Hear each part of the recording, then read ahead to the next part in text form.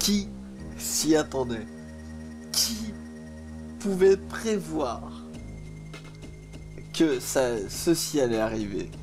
Qui pouvait savoir que j'allais faire un peu de criminologie sur cette chaîne et en français? Parce que je vous ai pas assez saoulé avec Benoît Socal. Je ne pense pas vous avoir assez parlé de Benoît Socal et de vous avoir assez parlé des jeux auxquels il a participé. Pas assez. Du coup, bonjour, bonsoir à tous, bienvenue dans votre nouvelle série policière qui va remplacer les Ace Attorney. Je suis Alus, Criminologie, un jeu Whitebird Production, Whitebird, Benoît Socal, vous connaissez pas assez Benoît Socal. Je, saoule tout le monde avec ça, mais c'est le jeu de l'adolescence, c'est le jeu qui m'a fait aimer les enquêtes policières et les histoires, les intrigues autour de ce média. C'est grâce à ça que j'ai pu accrocher à Ace Attorney. Criminologie donc, un jeu que j'adore, un jeu que j'estime, qui devrait avoir plus de, de visibilité. On va pas perdre plus de temps parce que je sais pas trop, je ne sais plus même comment se découpent les, les parties de ce jeu. On va commencer une nouvelle partie, je vous expliquerai tout en temps voulu. Première affaire, homicide et domicile. Toc toc toc. Entrez, entrez, je suis Alexandra Malone, la commissaire principale de Crossburg. Bienvenue parmi nous. Votre candidature pour rejoindre les rangs de la police scientifique a été retenue. Police scientifique, attention, ça rigole zéro. Je lis votre dossier, votre profil correspond parfaitement à ce poste. Faculté de médecine, école de police, diplômé avec mention parmi les meilleurs de votre promotion, vous avez un parcours brillant. Votre rôle consistera à mener des enquêtes, depuis le relevé d'indices jusqu'au dossier d'arrestation. Les circonstances font que je recherche un inspecteur plus vite. Si vous acceptez de nous rejoindre, votre fonction prendra effet dès ce soir, monsieur Simons. Matt Simons, je suis ravi de travailler avec vous, j'ai toujours rêvé de... Euh, ta gueule. Parfait, alors votre première enquête commence dès maintenant. Nous avons appris il y a quelques heures la mort de Stephen Connor, un inspecteur émérite. La procédure exige qu'une enquête soit menée sur ce décès, cela constituera votre première assignation. L'inspecteur Wayne vous accompagnera dans cette première investigation. Mais bienvenue à bord, petit. Tu peux m'appeler Peter. Enchanté, que savons-nous sur sur, les circonstances de la mort de cet inspecteur? Vais à traduire et à parler. Peu de choses en vérité. Des agents vous attendent sur place, ils pourront vous en dire plus.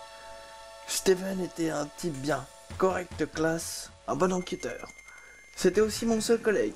Enfin, c'était. Inutile de laisser les corps en refroidir. Allons-y.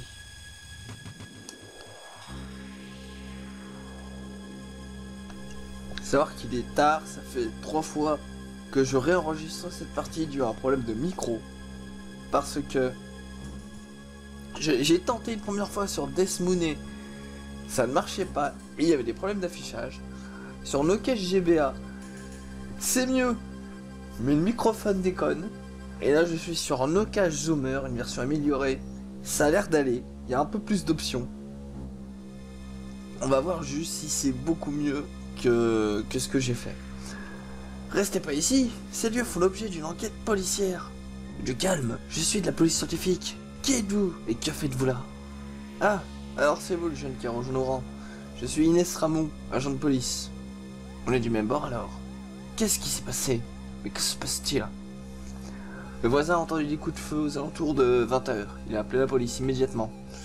Quand nous sommes arrivés sur les lieux, mon collègue et moi, il était déjà trop tard. L'inspecteur Connor et sa femme étaient déjà morts. Sa femme aussi, étrange. Des traces d'effraction sur la porte d'entrée. Rien à signaler. Selon moi, Steven a été tué, sa femme a... Steven a tué sa femme à l'aide de son arme de service. Et il a ensuite retourné l'arme contre lui pour se donner la mort. D'autres questions? Quel est le nom de votre binôme? J'aurais peut-être besoin de revenir vous voir. Le caporal Trecho Young est à l'intérieur. Il a commencé à prélever les preuves en vous attendant. Mais c'est hors du cadre de vos compétences. Les prélèvements sont de notre ressort. T'emballe pas, ça fait déjà une heure de boulot en moins. C'est pas ça qui va nous manquer. Bon. Là, c'est le tutoriel. Je, passe parce que je vais expliquer. Ce sera beaucoup mieux. Donc, un jeu que, un jeu que j'aime, un jeu que j'adore, un jeu que vous devez au moins connaître de nom. Et dans les grandes lignes. Nous avons donc deux écrans. Un écran supérieur qui pour vous est à gauche et un écran inférieur qui, qui sera à droite. Nous avons donc ici tous les indices que je vais récolter, que ce soit des photos, des empreintes, des échantillons de fluide, de sang, de liquide, etc. ou de témoignages.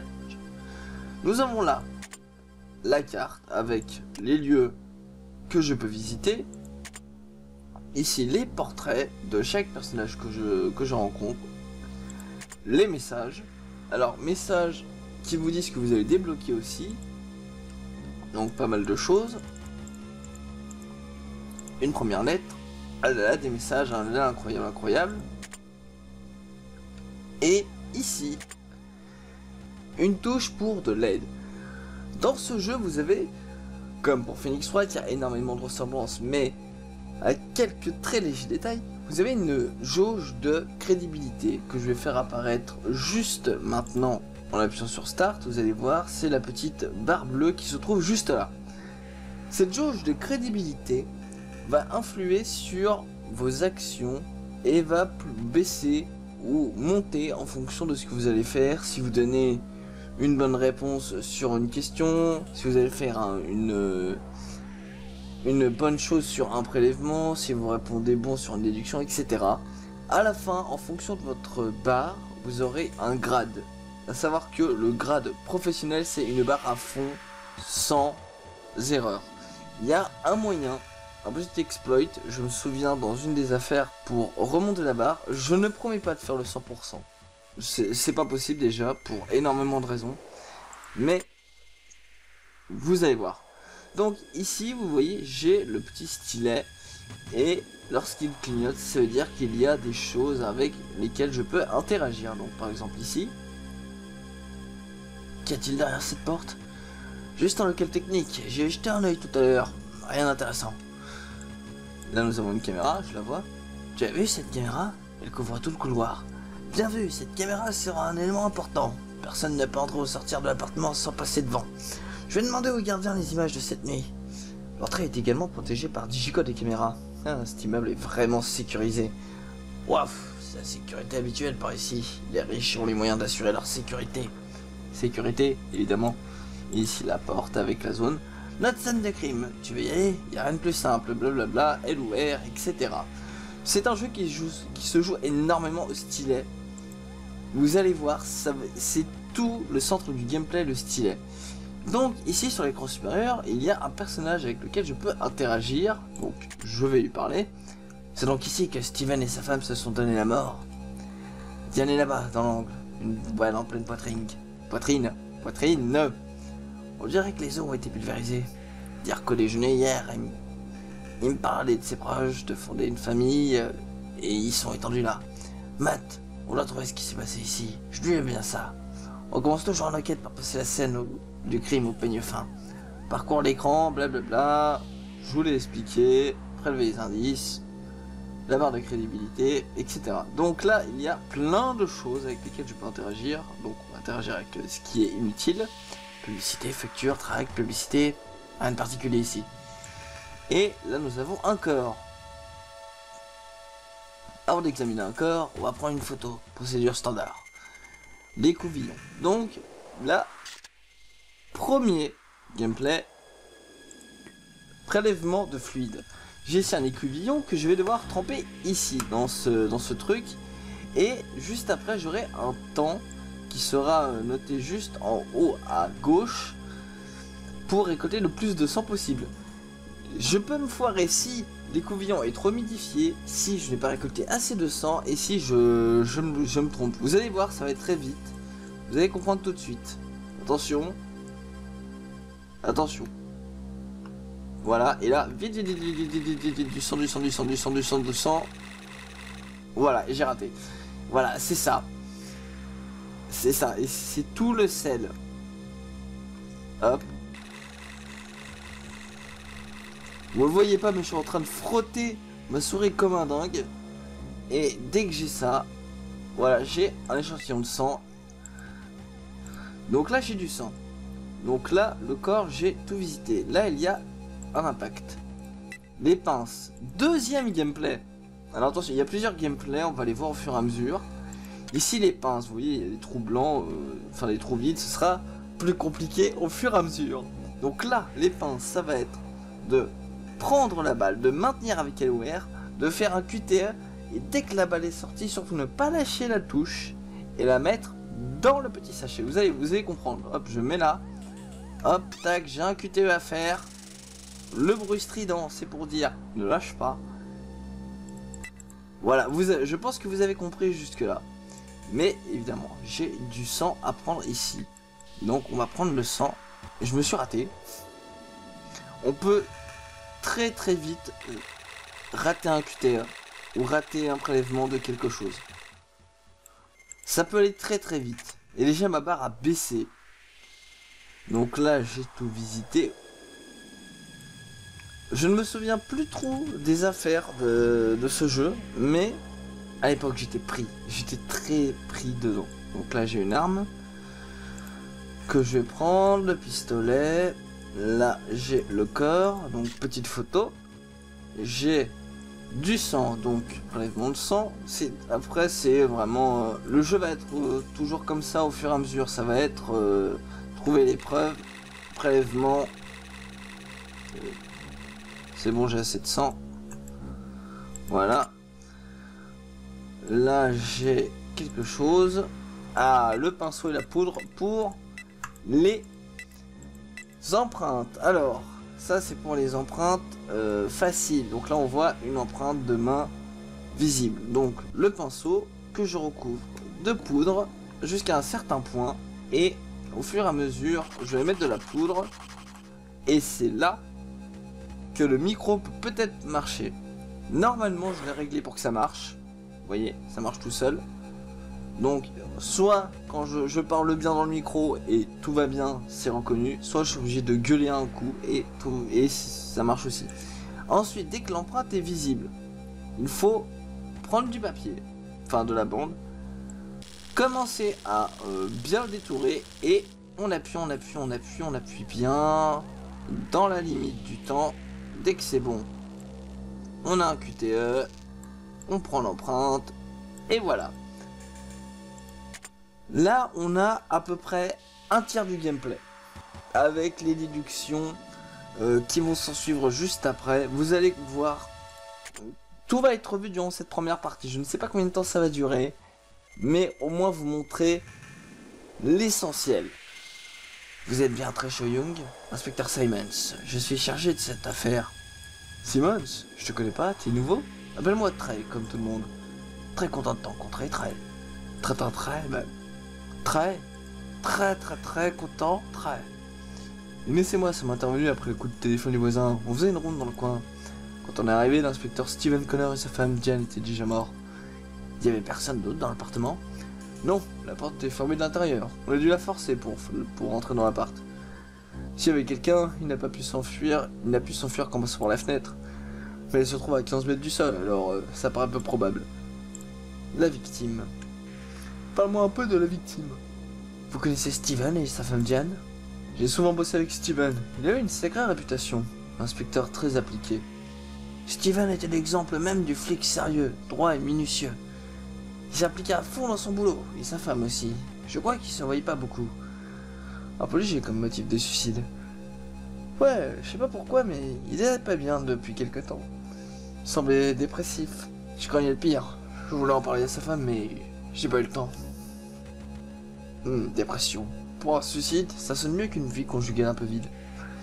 Il y avait une raison particulière à la dépression de Steven Est-ce que vous voyez Jordan de temps en temps?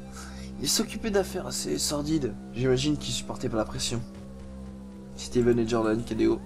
Pour ceux qui auront la référence. À mes yeux, ça laisse aucun doute. Un meurtre suivi d'un suicide. Qu'est-ce qui vous fait penser ça? Deux points. L'accès à l'appart et les blessures présentes sur les corps.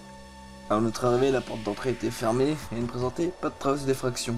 Pour les blessures, son mort par balle et l'arme était proche de Steven. Elle a dû tomber quand il est tiré. Alors, selon vous, Steven aurait tué sa femme avant de se suicider. C'est notre conclusion d'après ce qu'on a vu de la situation. Ok. Eh ben, merci.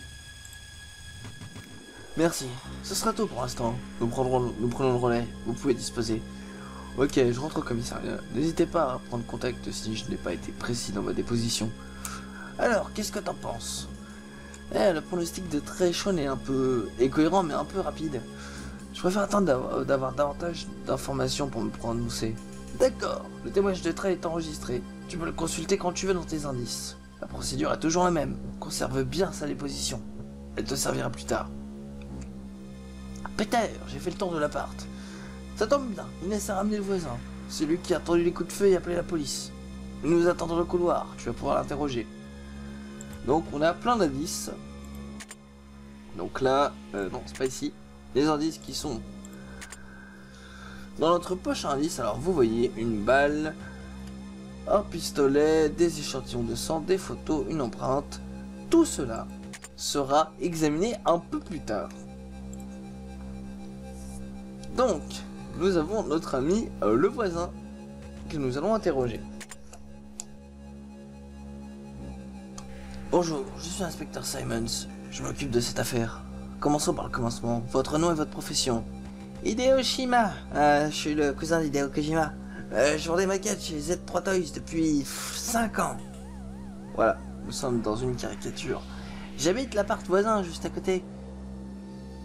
Je venais de rentrer chez moi quand j'ai entendu une grande, quand j'ai entendu un grand bruit. Il devait être 19h45. Euh, ah, je regarde beaucoup de séries policières. J'ai tout de suite reconnu le bruit caractéristique d'une arme à feu. J'ai appelé la police immédiatement. J'étais terrifié. Vous dites que vous n'avez entendu qu'un seul coup de feu? Ouais, un unique. Hachoum. Oui, je vais pas, je vais pas faire Hachoum en vrai. Pardon, c'est mon allergie.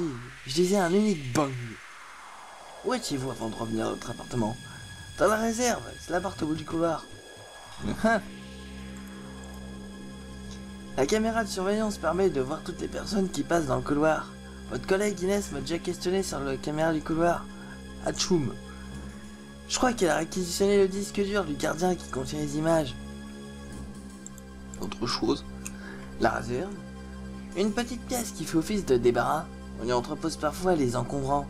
Je resté là-bas une dizaine de minutes. Je pouvais rien entendre de ce qui se passait dans l'appartement des Connors. Hachoum. Avez-vous remarqué quelque chose de particulier dans la réserve? Non, pas que je me souvienne.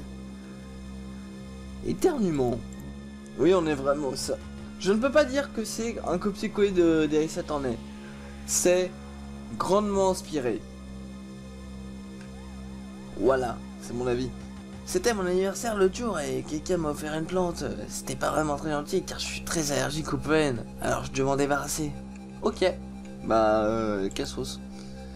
Merci de votre aide. Vous pouvez rentrer chez vous. Donc là, j'ai clear l'appart. Matt, t'as fini d'interroger Shima? Oui, j'ai fini d'inspecter les lieux. Tout concorde avec les thèses du meurtre suivi de suicide. C'est vraiment bizarre. Rentrons au bureau. On va regarder tout ça en détail.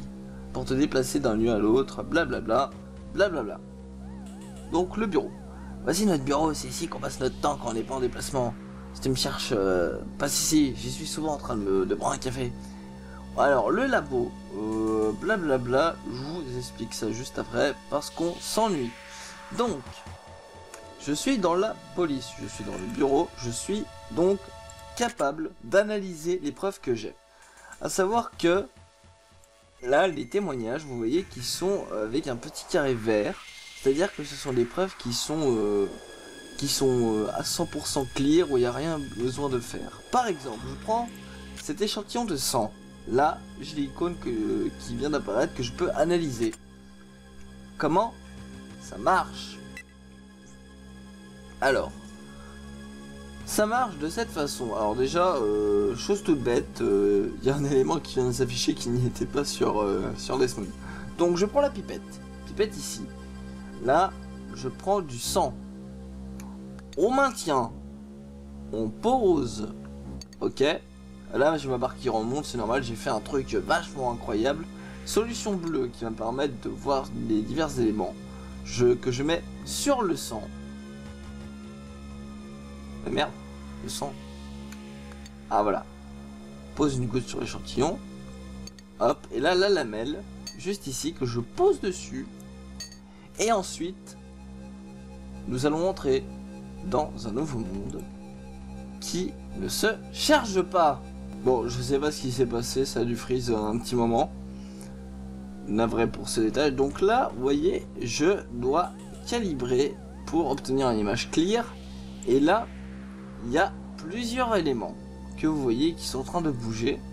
Donc par exemple, là, j'ai du glucose indésirable. Donc je vais sélectionner avec mon stylet et le détruire avec un petit laser.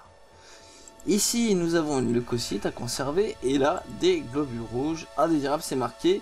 La petite barre juste au-dessus que vous voyez là, c'est une barre de complétion. Donc, alors faire attention hein, à ne pas détruire les, euh, les glucocytes, sinon vous perdez des points. Évidemment. C'est tout simple pour le moment. C'est tout bête. Donc là, c'est bon. Analyse complète. Et on voit ce qu'il en est. Ce son appartient à Dianan, Diane Connor. Rien d'anormal, mais pourquoi la police a-t-elle une fiche sur elle? Elle a été démêlée avec la justice Attends, je regarde ça. Elle a été victime d'une agression à armée il y a 3 ans. Une victime Je croyais que la base ne contenait que les informations sur les criminels. Le fichage a été élargi à toutes les personnes citées dans une affaire criminelle, victimes et témoins. Parfait, ça devrait nous faciliter la tâche. Donc, nous avons un nouvel indice enregistré sûr à 100%. Je pense que vous saisissez ensuite que là, ça va être la même chose.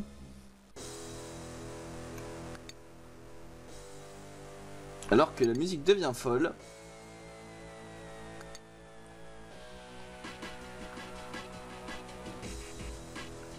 Ah ouais, il faut vraiment que je sois sur le bleu. Donc hop là, la mail. Tac, tac, tac. Alors par contre, à chaque fois, ça va me faire un écran noir. Du coup, je vais couper. Donc je pense que vous voyez les principaux euh, gameplay de ce jeu, c'est dès qu'on a quelque chose, on doit le détruire, on doit l'analyser, le prélever, etc. Je ne sais pas si je l'ai dit dans le bon ordre. Mais moi ça me plaît. Du coup ce jeu, euh, j'ai beaucoup de souvenirs qui reviennent, que je vais me permettre de partager avec vous. Parce que ce jeu, ça fait un peu partie de ma vie. Faut savoir que je suis tombé sur ce jeu complètement par hasard. Mais vraiment par hasard. La balle qui a tué Diane provient du clock de Steven. Le test se confirme. Donc le sang, balle du clock, ok. Il me reste un élément sanguin et c'est bon. Voilà, la musique elle devient folle quand j'analyse des trucs. Donc là vous voyez ma barre est à fond.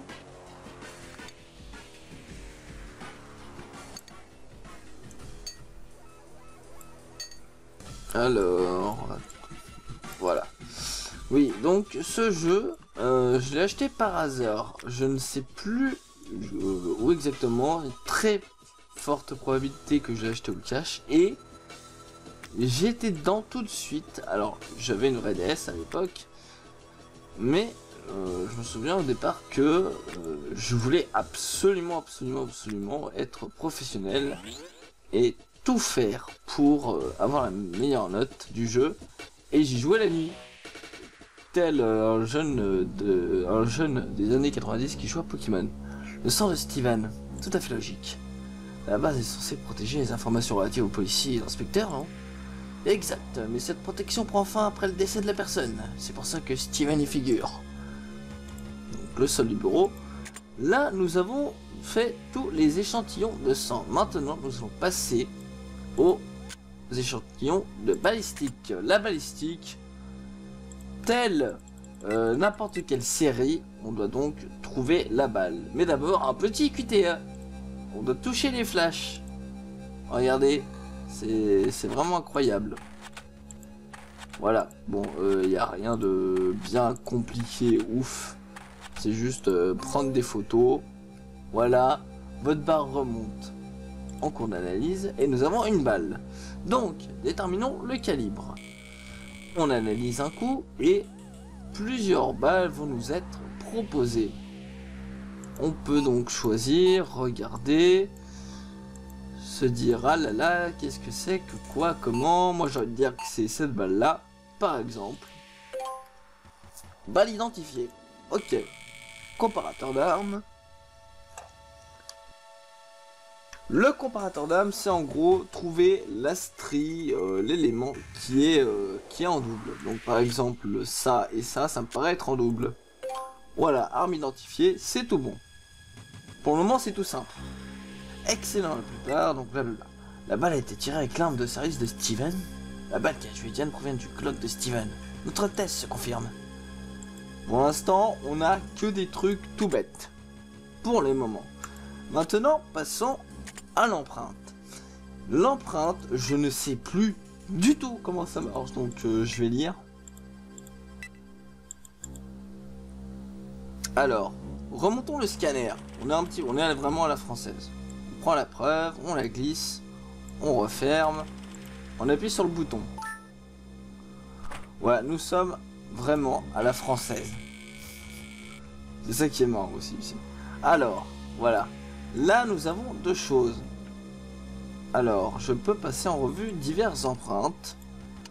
Donc, euh, voyons... Je, alors, je peux faire plein de choses que je ne sais pas à quoi ça sert. Donc là, j'ai l'empreinte et ici, j'ai euh, j'ai l'empreinte retrouvée et ici, j'ai les différents fichiers. Donc, je cherche et je me dis, tiens, euh, quelle empreinte ça pourrait être? On regarde un peu, on regarde un peu. Bon, ça, ça sert à rien, réellement. Mais en cherchant bien, on peut se dire, ah tiens, tiens, tiens, tiens, euh, qu'est-ce que c'est, qu'est-ce que c'est? Alors, j'essaie de me souvenir. Ah voilà, et je peux tourner, je peux tourner l'empreinte. Ce que j'ai complètement oublié. Du coup, je reviens. Donc là, par exemple, ah tiens, comme ça, euh, on dirait que ça y ressemble.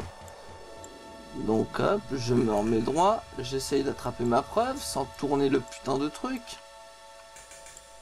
Est-ce que je l'ai mis trop, cette connerie? Ah, je l'ai mis trop, c'est pas vrai Je l'ai remis trop, c'est moi, je suis trop con. Attendez, annuler, on va recommencer.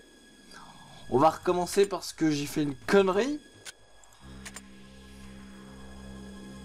Blablabla, bla, bla, bla. oui c'est bon, j'ai compris, c'est moi qui fais une...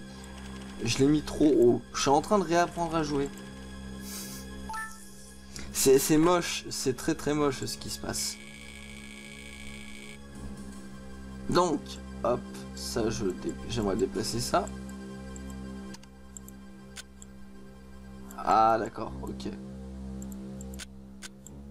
Ok, je viens de comprendre. Donc ça c'est pour déplacer, ça c'est pour tourner. Ok. Euh, c'est bon, j'ai compris. C'est moi qui sais plus jouer. Donc tac, je vais déplacer. Donc, je me remets sur ma preuve que je me suis dit, tiens, c'est intéressant, ça pourrait être ça. J'essaye de caler à peu près. Voilà, je me déplace pour que ce soit euh, à peu près au milieu. Et, oh bah tiens, analyse identifiée, indice. Et donc là, empreinte sur le bureau. Les empreintes sur le bureau sont celles de Steven. C'est son bureau après tout. Pour le moment, on n'a rien de nouveau, mais il me reste le Glock. Et c'est peut-être ça qui va nous aider. Alors, le Glock, on l'analyse, on l'analyse, et là, ah tiens, une empreinte. Donc là, comme sur le bureau, un peu de poudre, un petit peu de poudre, et là, normalement, si ça marche bien, voilà, je suis obligé de gueuler un petit peu fort, j'ai une empreinte, et donc, je m'en vais là, euh, la l'aplatir. Oh, fichtre. La bande est trop, est trop petite. Est trop grande. Ah ouais, alors ça, ça c'est vraiment euh, entre petit et grand. C'est, voilà, allez, vas-y, débrouille-toi. Entre petit et grand. Et ça, c'est que le début. Donc, j'ai l'empreinte du pistolet. Pistolet, donc, euh, j'ai une empreinte que je vais analyser. Alors attention, que je me trompe pas, c'est ici.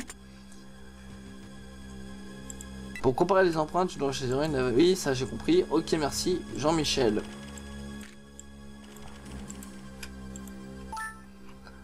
Donc, une nouvelle empreinte. Tiens, tiens, tiens, me dit quelque chose cette empreinte. On va tourner en rond.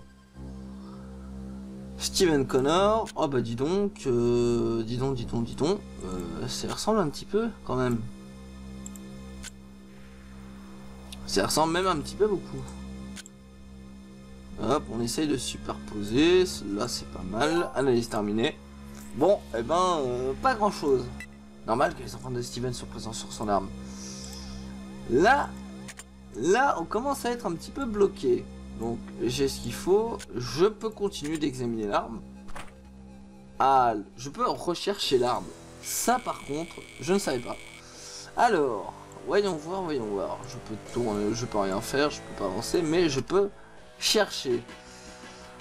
Alors, qu'est-ce que, qu'est-ce que, qu'est-ce que... Eh ben, ça ressemble vachement à celle-là. Je sais pas vous. Moi, je dirais bien que c'est celle-là. Hop, analyse terminée. Pour l'instant, c'est que de l'ennui. Ce pistolet appartient à Steven Connor. Un Glock 17. Son homme de service. Alexandra pourra t'en dire plus. Les armes à feu, c'est son dada.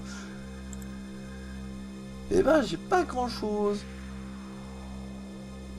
Du coup, on va se déplacer. Non, se déplacer dans la police un peu plus loin. Il me reste des indices à découvrir. Ça veut dire que j'ai pas tout fait. Gagner les photos. On a tout le matos pour regarder les photos labo, etc. Alors, le curseur, tu peux le déplacer sur l'écran. Quand tu as planté le curseur sur l'élément, faire une photo pour l'imprimer. Donc, voyons voir. Là est quelque chose. L'impact de la balle. J'ai donc une photo, ok. Là, pareil. Là, ah, alors là, je ne sais pas si vous voyez. Mais... Alors, il y, a ça qui est bizarre, je ne sais pas, si c'est du ou pas. Il y a du sang séché. Mais bon, je vais d'abord prendre l'impact de balle. Élément suspect détecté. Je crois qu'on a fait le tour, Matt. Allons faire un premier rapport à Alexandra. Allons dans le bureau de Madame la chef. Alors, Simons, comment s'est passée votre première journée? Nous avons mené l'enquête dans l'appartement et aucun indice n'a vu nous échapper. Dans ce cas, il est temps de me faire un premier rapport. Je savoir plus sur ce qui s'est passé. Et c'est là que tout va se jouer si oui ou non vous avez suivi l'affaire. Une série de questions. Si vous vous trompez, vous n'avez pas de crédibilité. Et si vous perdez, vous êtes renvoyé.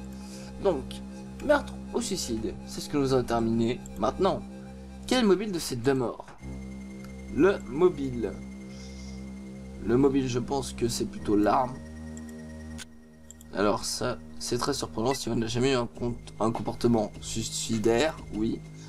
Enfin, l'agent Young connaissait bien l'inspecteur, il doit avoir raison. Quel élément avez-vous sur la mort de l'inspecteur Connor? Alors, faut vraiment que je me souvienne de mes preuves. Alors, quel élément avez-vous sur la cause de la mort? Eh bien, la cause de la mort, euh, madame la chef, ce serait cette balle. Euh, ouais. Ce serait celle-ci, je dirais. Ah, je ne comprends pas. Ah là là, c'est la chute.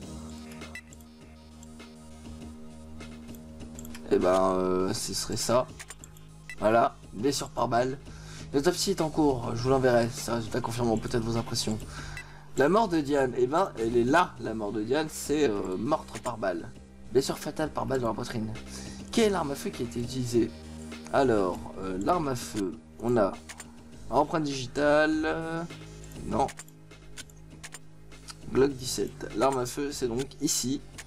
Ça correspond avec le mobile et la taille des blessures. Notre commissaire est une experte à des armes à feu. Ses connaissances n'ont pas l'égal. Elle peut reconnaître une arme au son du chargeur entrant dans la crosse. Peter, je vous permets pas de répondre ce genre de rumeur. Après, on dira que vous passiez plus de temps à la salle de tir qu'avec votre fille. Hmm. Hmm, pourrait-on revenir sur ce rapport Avez-vous un indice prouvant que c'est bien Steven qui a utilisé son arme? Oui, madame, il y a une belle empreinte sur son arme de service.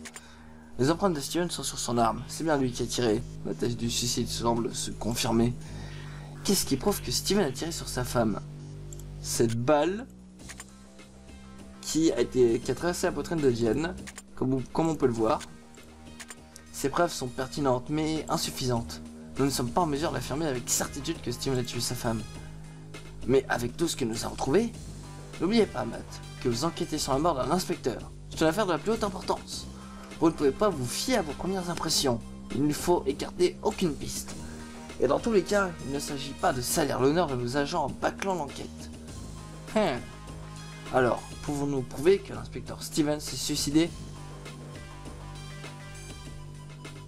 Alors, il faudrait qu'on continue à chercher quand même. Attendez. Euh, je suis en train de penser à un truc. Il faudrait qu'on continue à chercher, je pense. Y a-t-il des contradictions entre les faits et le témoignage de Monsieur Shima? Euh, Alors, Monsieur Shima, je crois que c'est ça. A entendu une détonation provenant de l'appartement vers Ok. Et là. Euh, une contradiction. Une contradiction, une contradiction. Euh... Oula. Alors là. Moi je dirais bien que c'est le temps.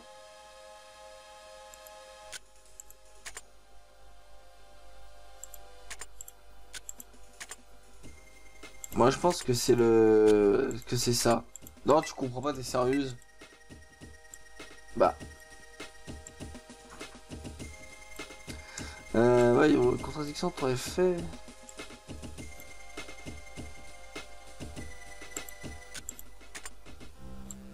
Non, c'est pas ça. Ah si, si, si, si, si, si. On a retrouvé qu'une balle. Non mais si, on a retrouvé qu'une balle, sac. Non mais s'il te plaît. Euh. Bah c'est ça propre de... Oui, voilà, un seul coup de feu. Alors qu'il y a eu deux morts. Il y a eu deux corps sur les bras. Comment expliquez-vous cette différence Hmm, alors moi je pense qu'ils sont pas morts en même temps. Possible, si l'un d'entre eux est mort avant que Shimon soit rentré chez lui, il n'a pu entendre qu'un coup de feu. Pensez-vous avoir assez d'indices pour confirmer ce dossier et confirmer ce dossier et conclure le suicide de l'inspecteur Connor?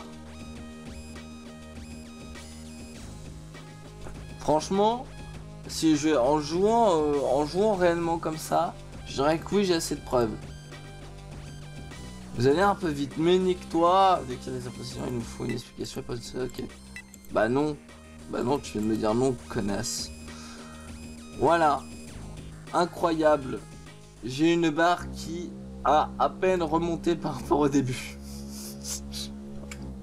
Je pense que vous avez compris tout l'enjeu du gameplay. C'est trouver les indices, essayer de comprendre ce qu'il veut dire, les analyser, essayer de pas se tromper, sinon c'est foutu. Là encore, j'ai pas trop l'indice. Mais quand j'en aurai une chier, ça va être une galère. Le témoignage de Shima soulève un problème sur les causes de la mort. La thèse du suicide tient toujours, mais nous ne, nous ne la confirmerons pas avant d'être absolument certains. La vidéo de la caméra de surveillance est encore l'analyse. Elle devrait répondre à nos questions. En attendant, je vous recommande de bien vous reposer ce soir, car l'enquête reprendra demain de plus belle. Et voilà mon score sur 600. Donc, euh, en fonction de ma barque, vous voyez qu'il descend. Voilà, bon, autant vous dire que c'est moyen. Il me semble que c'est une barre de 150 points. Donc, l'affaire est en 4 parties. Bingo Et donc, là, stop, stop, stop, stop, stop, stop, stop, stop. Stop, nous allons nous arrêter là. Je ne vais pas aller plus loin. Parce que je ne veux pas. Mais je vous avais compris tout ce qu'il faut savoir sur ce jeu, sur ce criminologie. Si jamais ça vous intéresse d'avoir la suite, dites-le moi. Attention, je ferai sûrement la suite, au moins terminer l'épisode 1. Merci d'avoir regardé cette vidéo. Je vous partage un souvenir de mon enfance, un souvenir de petit mais personnel, un jeu de mon cœur. Si ça vous plaît, pouce bleu, commentaire si vous avez des questions, j'y répondrai en commentaire évidemment. Abonnez-vous pour la suite des vidéos et la suite du jeu. Il euh, y a un Twitter, etc. Euh, tout s'affiche dès maintenant. Merci à tous, bon jeu, et à la prochaine pour la suite de Criminologie.